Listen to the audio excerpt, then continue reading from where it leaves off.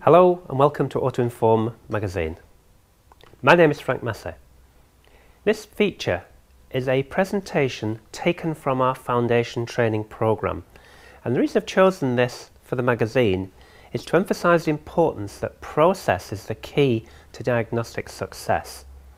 What I mean by process is the way you evaluate a vehicle, the choice of tools, how to handle everything from the contract, the agreement with the customer, to the choice of procedure, and then the actual process itself. How do we break down methodically, efficiently, and effectively the test sequences that will bring the conclusion, the correct conclusion, to a diagnostic problem? I'd like to begin by just emphasizing that the key choices that, that are, are made early in, the, in this process or procedure. There is an agreement or contract. Now, of course, the key to this is that the contract is an agreement in terms of what we can offer technically to the customer and what the customer is prepared to pay us for.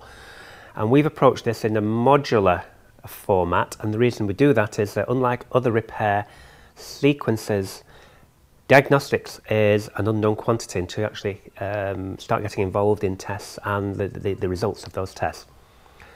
From the contract, I'd suggest a, visual examination. The detail of that visual examination depends on the nature of the fault, of course, and, and which area of the vehicle we're working on. So a visual check is, and uh, you always remain vigilant and visual whatever repair you're conducting. That's an ongoing process. You then effectively have a number of choices, but the key first choice is what I call a global serial check. By global, I mean bumper to bumper. Why should we look at the entire vehicle when perhaps we're concentrating on engine or transmission or braking?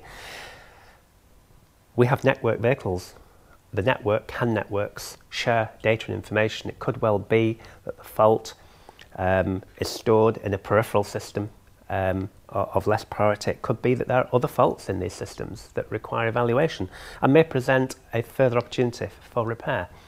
So the serial evaluation is the most important.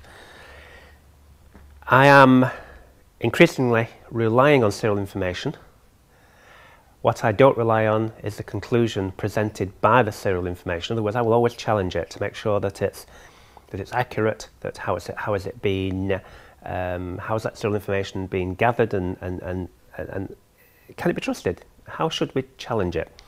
So from the serial investigation, we really come into two other potential uh, procedures. The first one, of course, is electronic. That's one opportunity. And the second is mechanical, hydraulic and pneumatic. So I think we'll, we'll put that under a common heading.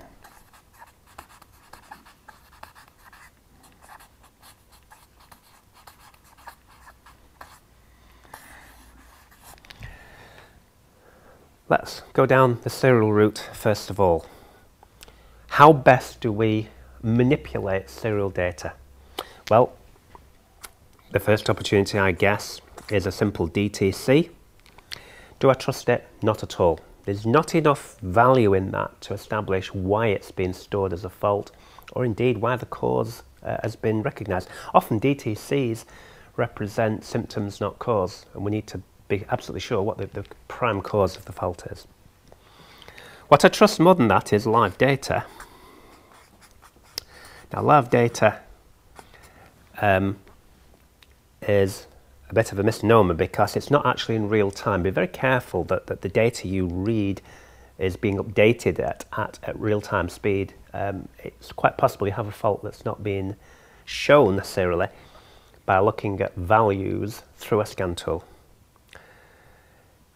After live data, um, we really need to look at how the ECU is handling this potential defect and it falls into a series of events, if you like. The first event is request.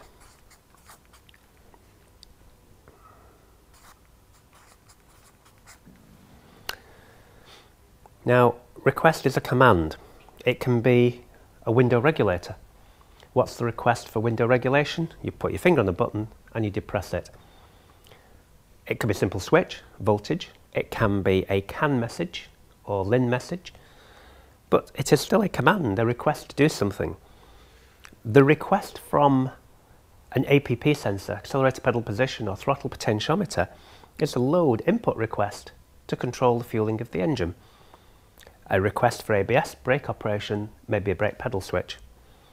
So the request can be a, a simplistic or complex set of events which must be in place. So you must understand the schematics of the system. What does it require to function correctly?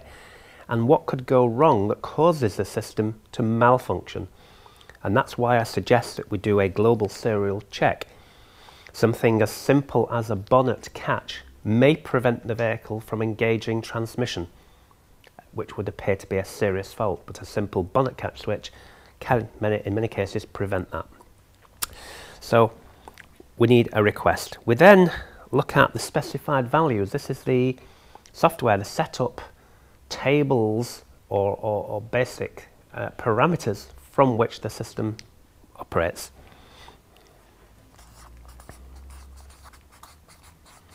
So the specified value is contained within the software parameters.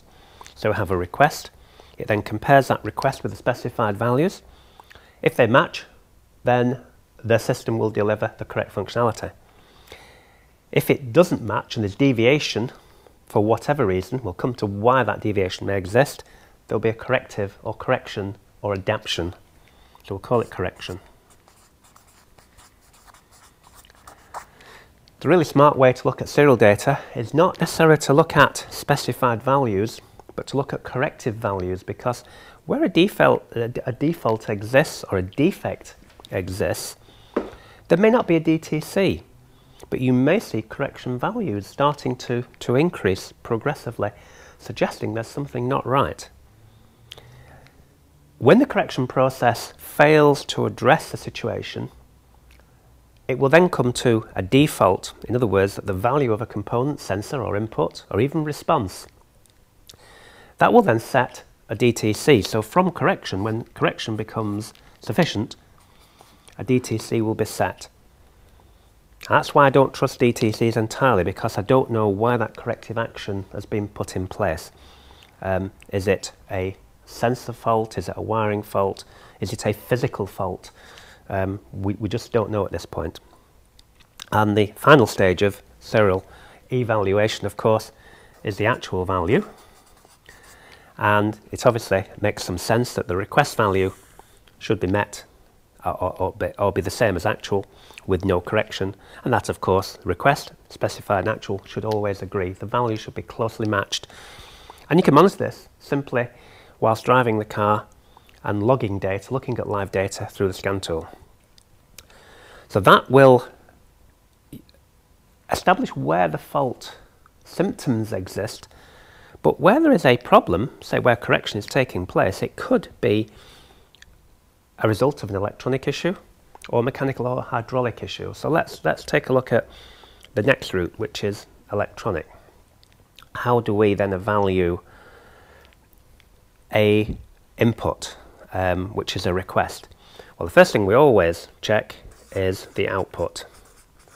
So whatever the component functionality is, go for outputs first. If the output is correct, now of course you have to have good known data to predict if the output value is correct. You also have to use the correct method of measurement. If it's voltage in real time, we use the oscilloscope. If it's current flow, then we also use an oscilloscope with an inductive current clamp. So the output value of, shall we say, a fuel pump is hydraulic, it's pressure and flow. That would come under the the mechanical uh, route. If that's defective, the next functionality of a, a fuel pump is the current flow through the circuit. And that will be the second check. So the, the process that we're developing here is a balance of different tools supporting data as we progress through the symptoms of the fault. So the first thing we check is output. The second thing we check electronically is the request or input. We then move on to voltage, ground. And of course, current we've mentioned, if it's movement related. We then move on to the environment. What conditions it operate under, is it mechanically seized? And finally, it could be a software issue, adaptation, or even coding or programming. Having established a procedure for the electronic route, let's take a look now at the possibilities down the, me the mechanical or hydraulic or pneumatic route. And we're dealing here with obviously fluid pressures or maybe uh, air pressure perhaps with the turbo. So one of the first processes we may wish to, to undergo is an integrity test with say an air intake system where we'd use a smoke test.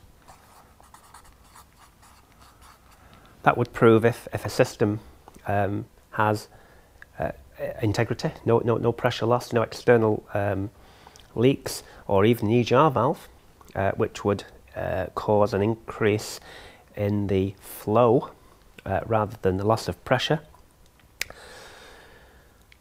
Moving on for that, we might want to establish uh, fluid checks. I mentioned that the output of a fuel pump is pressure and flow, so uh, we'd use actual gauges, hydraulic gauges. We wouldn't rely just on serial data, perhaps, to provide us with an answer. We'd want to be sure that that sensor is reporting the right physical condition. In other words, the environment. The environment in a fuel pump system effectively is the hydraulic performance, the control of which we've mentioned is current. Uh, uh, the fuel pump uh, has movement, therefore it requires current to drive it. But the environment, it could be a black fuel filter causing a high current flow, causing a DTC, causing um, the engine to run lean. The DTC may suggest a lambda error, a fuel trim error, but the actual cause could be environment, hydraulic, a blockage. So process of a combination of approach and logic thought process is really what, what we're suggesting here.